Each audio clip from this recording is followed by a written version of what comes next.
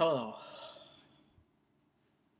So I uh, have this uh, shirt, which I found uh, thought to be appropriate for this series of videos. Um, which, uh, you know, we're continuing with the Friday the 13th movies. And uh, now we're at number four. Uh, part four is the final chapter. However, of course, there's like uh, eight more movies after this, so yeah. This isn't really the final chapter, but uh, for the time that was believed, everybody who worked on this movie, the directors, writers, everybody, really believed this was the last movie of the franchise. Paramount seemed to not be too happy, even though it made these films made a lot of money. I guess the thought was, you know, we've made Academy Award winning movies, movies that have won Best Picture, like Godfather 1 and 2, and Ordinary People. We don't need to be associated with this franchise. Um, and of course, critics always uh, criticize these movies uh, constantly. Roger Ebert, in uh, his review of this film, he called it, uh, he said, Friday the 13th, the final chapter is an immoral, reprehensible piece of trash. That's really how he began his review. Uh, he really didn't like this movie. He didn't really like any of the movies. And with each installment, he just seems to have gotten more and more fed up with this franchise. Like it's just the same thing over and over. All these kids go around this like this lake and around there and get killed. They always get killed. It's always the same thing. They try to have like oh they want to just have fun like a fun weekend or whatever and then get killed. Which is definitely the seems to be the case in this movie. Uh, group of friends uh, head to a house that's uh, uh, near like the, some of the, I guess the protagonists of this film. Their house, uh, like for a week in the woods, and uh, yeah, the protagonists of this film is like Trish and Tommy Jarvis. Tar- Tommy will be very important in the next two entries. This essentially begins the Tommy Jarvis trilogy in a way, um, while also concluding the initial Jason Voorhees as the killer trilogy. And I'll get into the next video as to why that is because of the fifth film, but I'm here to talk about number four. And I don't know, there's a lot I want to say about number four, and yet at the same time, I know I probably can't say everything. Maybe shouldn't because this video then go on for too long. Because this is my favorite movie of this series. I really love part four. The way everything comes together, the way it all ends, it does seem like this would be like the very last movie of the franchise. Though, of course, uh, at the very end, there is something that hints at there could be more to come, which uh, kind of negates the fact the movie is called the final chapter.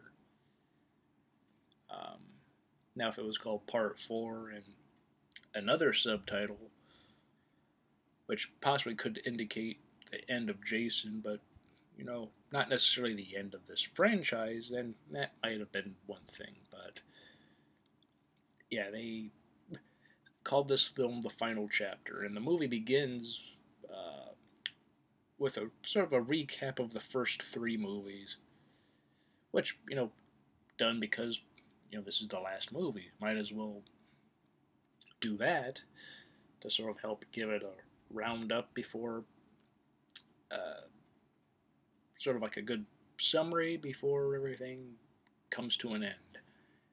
And uh, it begins with the end of part three, where that left off at night with Jason uh, in the barn, and he's then taken to the hospital, and uh, uh, doctor and a nurse are, you know, sort of fooling around, uh, almost begin to, but Jason's there, and you know, the, the doctor, he's basically like a perv, and uh, uh, trying to, you know, basically have some fun uh, in the cold room while watching TV with this nurse, all while Jason's dead body, or supposed dead body, is there. And as they're kissing and beginning to potentially go further, Jason's hand falls and uh, touches the woman, and she screams, and then, well, that's just is a mood killer. So, uh, but apparently he, you know, he's just upset about this. Like he can't understand why wouldn't you want to continue, but anyway, she doesn't have, think this is as fun as he does, so she leaves. And uh, he puts Jason into like the to a freezer, but the door it doesn't close all the way. And you know he comes, he regains consciousness, and then kills him by cutting his with a saw and then twisting his head backwards, which is actually a pretty cool uh, and interesting kill. And then later we see uh, the nurse's death, and she gets just stabbed. Um, and uh, as the then the movie keeps going, and we see group of uh, teens in a car heading, as I mentioned before, to a house next to the Jarvises. And amongst these is uh, Ted and uh, Jimmy or Jimbo. Jimbo is played by Crispin Glover uh, before Back to the Future. So this was his big movie of the time, really, before for a full year until Back to the Future came out. Um, sort of like how Kevin Bacon became really well known uh, with Footloose, which also came out the same year as this film, 1984. This movie also has another later on uh, big name, uh, Corey Feldman, uh, who plays Tommy Jarvis. Um, this film came out uh, before Gremlins, and of course a year before The Goonies. So this movie has a, a couple of future big names. You know, at the time of the release, they were just sort of like, you know, actors in this movie. Um, and Corey Feldman in one of the documentaries actually said, like, you know, when he heard being offered to audition for this film, he's like, oh yeah, I love Halloween. Oh wait, what? Friday the 13th? Oh yeah, I like that franchise. Apparently, uh, he was more into Halloween, but, you know, obviously he didn't mind not being in a Halloween film because he got to be uh, uh, one of the prominent characters, and um, um, we also see before they the, guys uh, all those teens get to the house, they stop by a roadside uh, grave, which was uh, which is Pamela Voorhees' grave. And uh, it's the first time Mrs. Voorhees actually has a first name, so you know that's pretty cool. This movie uh, gave her her name, though it says 1979. Despite the first film, from all intents and purposes, seems to take place in 1980. Like that was the whole point of uh, the first movie was present day, supposed to take place in 1980, but I guess they thought with part two taking place five years later, it should be you know 1984, uh, and so that means this film takes place in 1984 since it takes place days after parts three and two. So you know, continuity wise, it con- it's consistent in that taking place days later. Though that does make the name of the film not as, not as relevant. But with the flashbacks and everything, I guess you could say, well, it does take place in part on Friday the 13th with those flashbacks, which uh, fairly true. But yeah, the uh, but as the film goes on, uh, you know, Jason kills more people, kills a hitchhiker who they decide not to. The, uh, the teens decide not to pick up because they don't have any more room. Uh, and uh, we see uh, some interesting kills in this film. Um, Crispin Glover got a very unique death, um, but also uh, a girl who goes out uh, swimming, uh, and, there's a, like an inflatable raft out in the lake, and then she is killed, subsequently killed as she's there. Though the the though the uh, boat uh, surprisingly does not, you know, uh, deflate, interestingly enough. And it doesn't look like the machete is that she's killed with is still in there. So, in her. Uh, so that makes it quite interesting for sure. But, you know, it does uh, help pay off with when her boyfriend goes to find her and then he sees what's happened and then he gets stabbed in the uh, uh, uh groin area, and it's not very. Uh,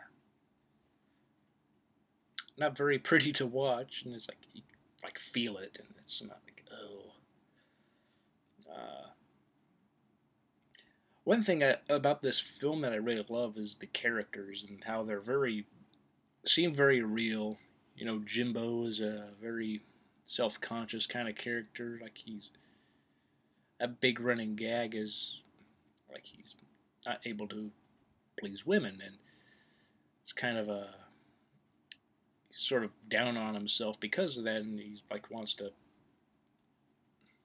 He's like, he says, oh, "I'm horny," and uh, it's it, it's, and then later he actually gets to have sex, and part of the reason he dies. Um, Granted, he probably would have died anyway, just because he was there. But you know, even if he wasn't, the fact that you know, if he was somewhere else and had sex, he likely would have been uh, killed uh, along the way of Jason's uh, uh, uh trek towards that area. And um, one one character uh, does relate to part two. Um, Rob, who's Sandra's brother. Looks like he's been hunting Jason for years with how he's packed. He's got like a rifle and a huge backpack and a map and everything. It's like, what? Clearly, he got the new. He and his family got the news, and he just went into action, hunting this guy. And uh, but yeah, he's out off for revenge, trying to hunt and kill uh, Jason for killing his sister. Um, and she was the one in part two with the iconic death uh, with the spear. Um, so, uh, so that's that helps uh, bring uh, this franchise a bit even more in with continuity, and um, you know uh, one death uh, that I found really I found really interesting was uh, the death in the shower. Know, dude thinks his girlfriend came back, and then no, it's Jason. He smat, he breaks through the shower glass, and then just crushes his head against the wall, and you see his eyeball go kind of pop out a little bit, and then and his girlfriend comes back later, and then she uh, sees he's dead, and then she's trying to run and get out, and then she gets killed. Um, there's also twins in this film, um, and of course they get dispatched. Um, one of the twins uh, uh, is has sex with Crispin Glover, so Uh, that twin is the last of those two to die. The first one is gonna leave because you know she didn't get to be with any guy at that uh, little party that they were having at that house. So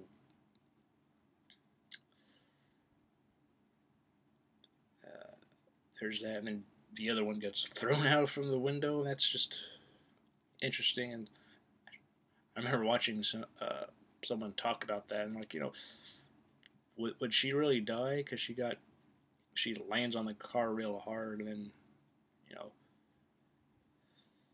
But it like didn't look like it would have been enough to actually kill her but clearly it did and uh, uh, as the movie goes on you know you see Trish and Tommy and Rob all trying to figure out what's all going on. And uh, also, Ted gets uh, stabbed in the back of the head with a knife. And also, the actor was actually high on weed because uh, he thought, oh, I'll do some method acting, but apparently he was just really paranoid, and that was a terrible mistake. They're watching some stag movies that they found and thought that was just a fun time. And that's something I really like is how like the atmosphere is uh, very fairly relaxed and uh, in terms of uh, all the kids makes them more relatable. Just trying to have a fun time, good weekend, and uh, basically or week that they're there and. Uh, the dialogue is pretty good too. Um, the acting is even better. Uh, Ted White does a great job as Jason in this film, uh, though Jason now has black fingernails for some reason, but that's fine. Uh, Tom Savini returns. Um, of course, he did the makeup and effects on the first film. He came back because you know gets to kill Jason off. He's like, I got to help create Jason, and now I get to kill him off.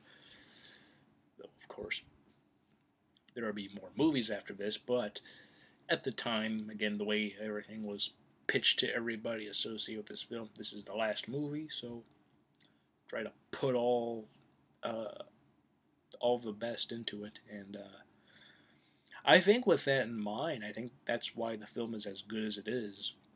The characters are really well rounded, likable. You know, there's not really that one character you hate and hope to see die, and when they die, you hope they get a very graphic death. Though, of course, with these movies, whatever death they was that was created on the set, uh, that was also combined with what was created in the script and to help give you an image, would obviously be cut to some capacity because of the MPAA uh, going after these movies. Though one entry later on really got it, though worst, unfortunately, but we'll get to that when we arrive there. But the uh, the the the Crispin Glover death, you know, he's looking for a corkscrew because you know just had sex with the twin and he was happy and you know wanted to have wine and he's looking for a corkscrew. He's asking where the corkscrew is, and then Jason slams the corkscrew down on his hand, pinning it to the counter, and then he hits him in the head with the meat cleaver and kills him. And that's a very unfortunate way for McFly to meet his end. But you know, he had sex and was about to attempt to consume alcohol. So all those things together just uh, resulted in his uh, demise. Um, yeah, this uh, this is a this is a very fascinating uh, film. You know, you you feel for these characters in that. You know, again, they're not. None of them are horrible or anything. They basically just want to have a fun time, all the while there's a killer on the loose. And uh, Trish, uh, you know, they they left like a uh, Tommy home alone. He's like 11, 12 years old, which you know, with some stuff going on, and Rob trying to, you know, go around hunting Jason and everything. And at one point, he comes across his uh, little tent when he was out and about, looking around, and apparently he didn't bring his gun because he then breaks his gun, then wrinkled his maps. It was just plain rude, you know. Not only did you break his rifle, but then you know Jason just was said you want to just had enough of this guy looking at his map. Like, no. Don't know what your point of view have in all this, but no. Uh, someone referred to like how Jason's like he's kind of a jerk in this movie for just stuff like that. Um, but I, th- I thought uh, that's kind of interesting and a bit amusing that that's the only thing Jason did. Uh, he didn't wait there for the person to come back and then kill them. No, he just broke his gun and then just wrinkled his map a bit. And guess he had more important things to do, like killing people. Not only he was there, he was cause an, an annoyance to when that person comes back. And then, you know, I guess that'll teach them for being there. Um, and so as they uh, return back to the house, um, also Mrs. Jarvis, their mom, is there, and you also get to hear how like the parents of uh, obviously they're not together anymore. Mr. and Mrs. Jarvis split up and like the you know maybe like they should visit their dad someday and like you know that'd be good like you know like, talk to him and all that. Uh,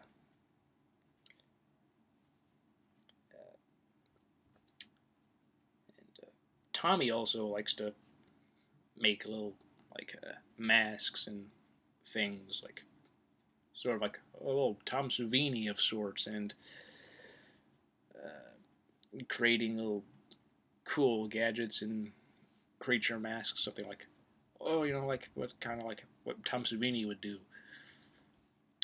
And uh, they thought he was a really cool, unique kid. Um, like to kind of create stuff, part of that is what they thought for an ending to kill Jason, but that didn't come to pass. Um, obviously. Um, later on, Rob unfortunately gets killed as they're looking in the basement trying to find Jason after all this time. They also bring their dog. Uh, Trish brings their dog, uh, Gordon, but then he jumps out the window because he's like, enough of this. They probably found some dead bodies, and he's like, yeah, I don't like how how this is going, so I'm just gonna get out of here. And, and you know, Gordon's pretty smart. You know, he he, he sensed danger, he got out. which is probably something that Rob and Trish should have done uh, before. And uh, fortunately, going upstairs from the basement, but then uh, Jason's down there and he's trying to kill or get them, and then he goes down and try to find them. Then Jason comes and uh, kills him with like with a little garden tool. forget the name, but it has like little three little sharp ends, like for like helping like dig for like like a little when you're gardening, you know, one of those little tools. And you hear him, he's saying he's killing me, and uh, she goes to try to see him, but, well, you know, that doesn't really work out, and she eventually just runs and tries to get out of there, and uh,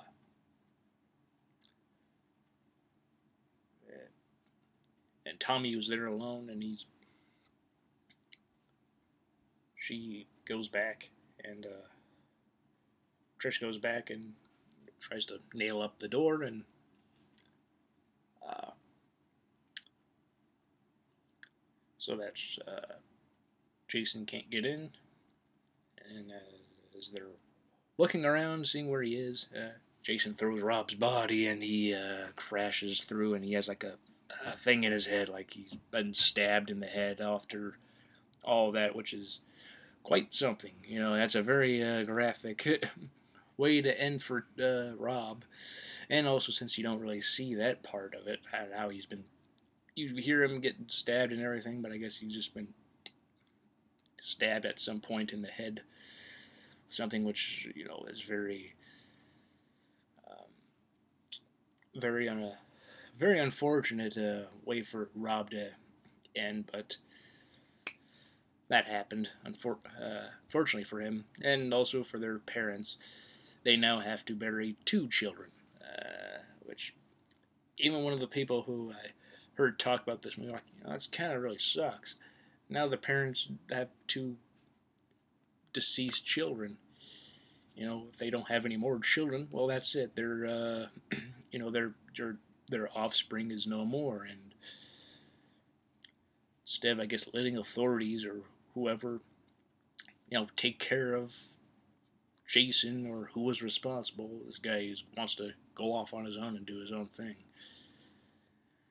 And uh, uh, once Rob's been thrown through the window, uh, you know, obviously both of them are freaked out, and Tommy backs up towards the window, and then Jason comes and grabs a hold of Corey Feldman. And Corey Feldman was genuinely scared because he didn't expect that. Like, he was supposed to, yeah, that was always supposed to happen, but I guess, like, on account of however when that was supposed to actually go and Ted White was going to crash through, they kind of waited a little bit. So then, because they waited a bit longer than what was supposed to uh, be anticipated for him to be ready, Ted White decided to then finally grab a hold of him, and then he was beaten and stabbed in the side of the neck with the claw hammer, and lets him go. And uh, it's quite interesting because then it's like you know his face is very genuine at that point.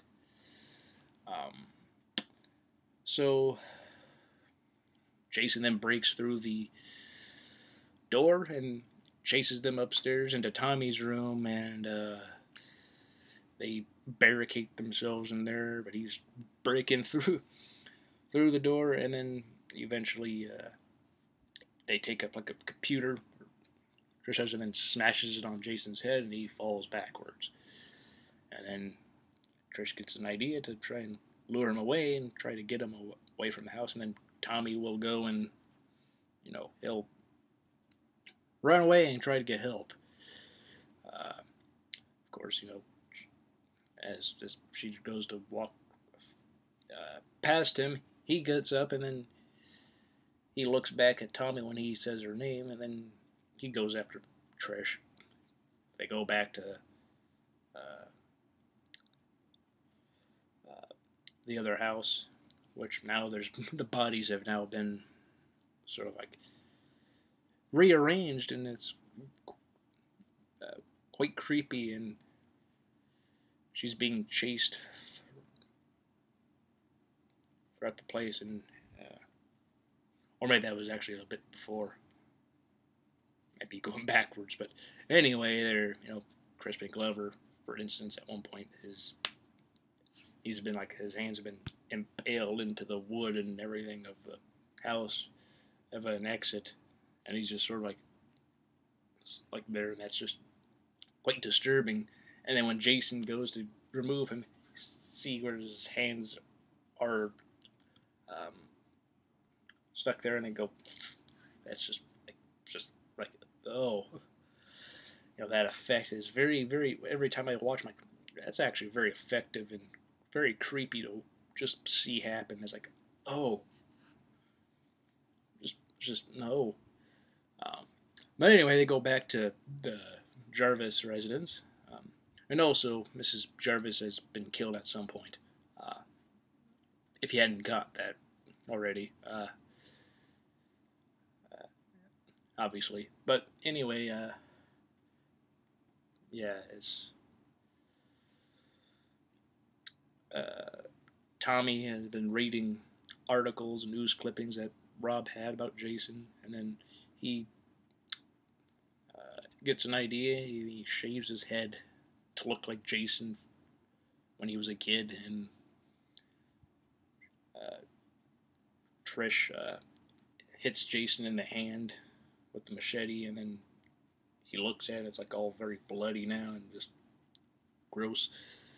And uh, she smacks uh, the hockey mask off, and we get to see what he looks like in this movie, and it's a bit more like more grotesque than before.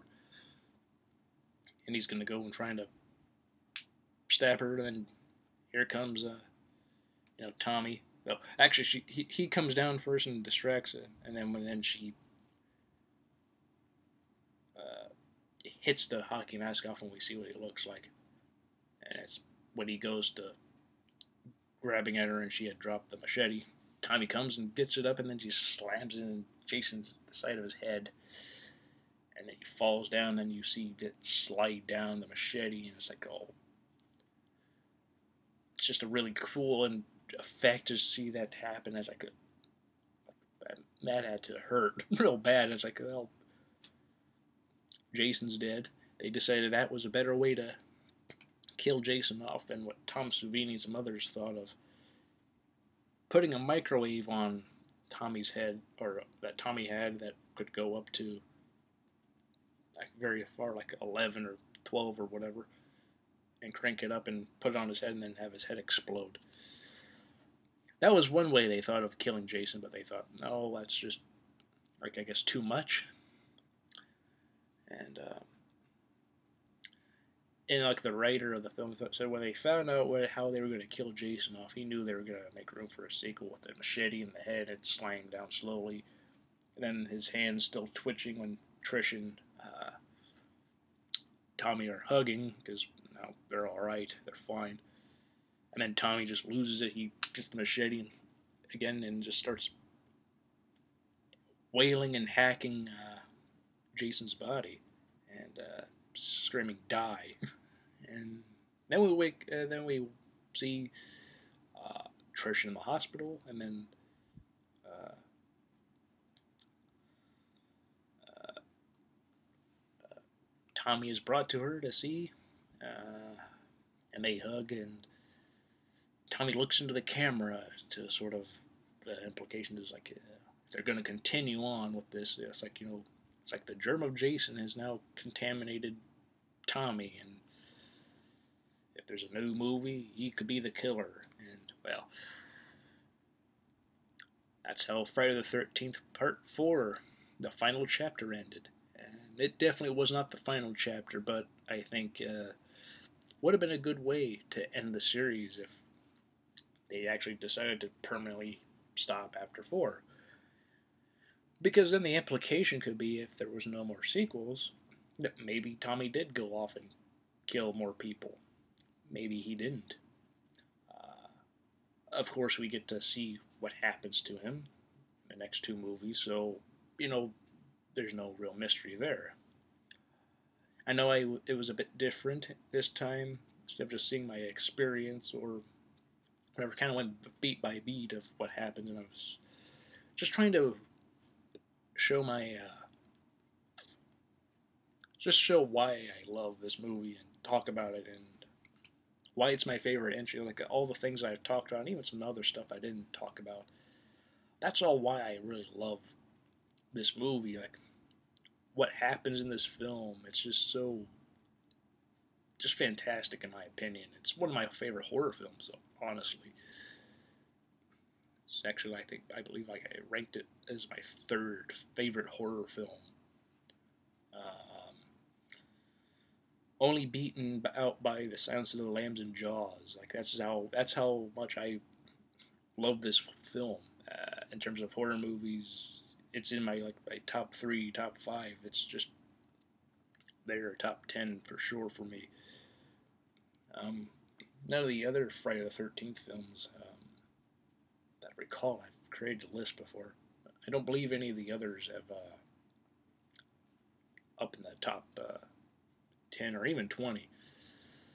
So I really love this film. Uh, to me, it's just that good. It's excellent. If you haven't seen it, obviously, you know, spoilers. but, you know, I kind of thought, you know, as I'm talking on all these as fairly in depth as possible, that's going to happen. Um, and I think Ted White actually uh, is my favorite Jason. I know Kane Hodder, who came later, kind of made the character his own. Um, played the character more than anyone else. You know, he does a great job, but I just love the, how Ted White plays him. It's like he honors the previous Jasons that came before him and added his own thing to it, and I really like that. I like how this, he, how he continued on creating a, his own distinct Jason, and uh, that's something that others have done later on, and. Uh, some sort of just are able to be just as good, if not possibly in some eyes better. Like people think Kane Hodder is better. Uh, some think C.J. Graham is the best for Part Six. Some think uh, Richard Brooker in Part Three is the best. Steve Dash two. Um, I think Ted White is the best. Um, this is a also a fan favorite uh, within the franchise. People really love this movie. Um, it's often ranked very highly. You know, uh, sometimes it's ranked number one, sometimes two or three, but uh, usually it's very high up there, at least somewhere in the top three uh, for the most part. Um, and I believe it deserves it. I believe it's one of it's one of the best entries of the franchise characters are great. The story is excellent. Uh, it's able to be seen as closing out Jason Voorhees' story in this franchise as the killer. And I think it could have been the end, but this movie made money, and so that means a sequel has to happen, despite the title saying the final chapter. But that doesn't matter when, you know, movie makes money. Um,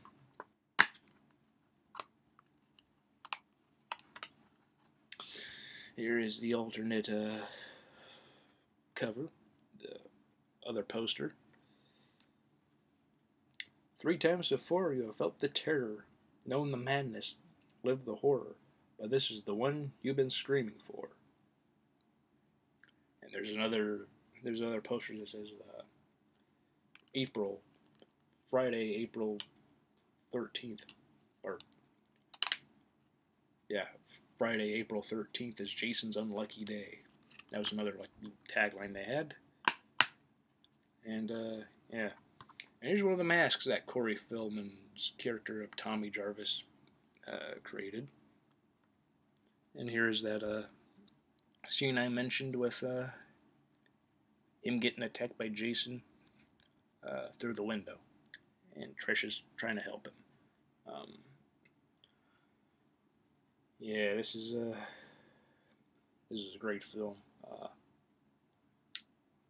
I love the special features on this uh, Blu-ray, um, which is pretty much the same as the other uh, Blu-ray and also the DVD release. So you get everything, obviously, from the previous releases in this. So uh, yeah, it's just it's it's a great uh, addition uh, to the film or to this uh, franchise. Uh, if you or edition of this set of this film, this set. Um, But yeah, going on 40 minutes now. But yeah, I I could keep going, but I really love this film. This is an excellent movie. It's incredible. Um, if you've seen it, uh, what do you think? Do you think it's good? Do you think it's one of the best of the franchise? Do you think it's the best? Do you think the film or the franchise should have ended here, or are you happy with how it went on? Um, let me know uh, if you want. Um, yeah. Anyway, uh, hope you all have a great day, have a great weekend, and a great week, and I'll see you all next time.